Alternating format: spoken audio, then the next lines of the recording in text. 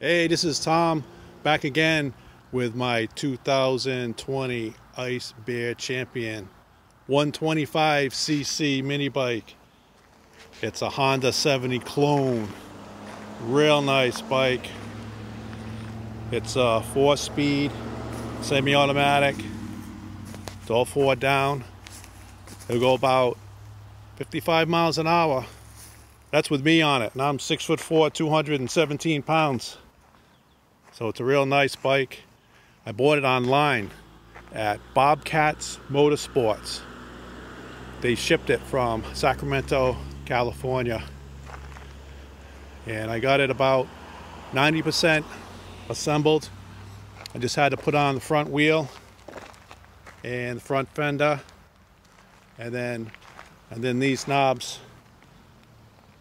you just loosen those knobs you put the handlebars up and tighten them I even put a cup holder on there.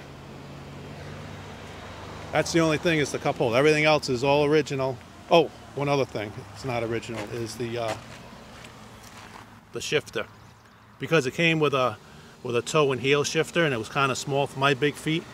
So I took that off and I, I bought this. It was like I don't know 14 15 dollars. And I put the shifter on. And it's much easier for my feet to, to shift. Um, oh and I had to put the rack on too and that's about it. It was real easy to put together. Oh and I had to charge the battery and drop that in. But uh, it's a real nice bike and uh, highly recommend it. I bought it at Bobcats Motorsports for $1,260 delivered I think that included shipping.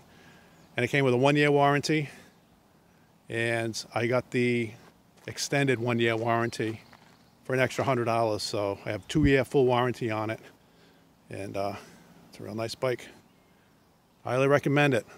Check out their website, bobcatsmotorsports.com. Take care.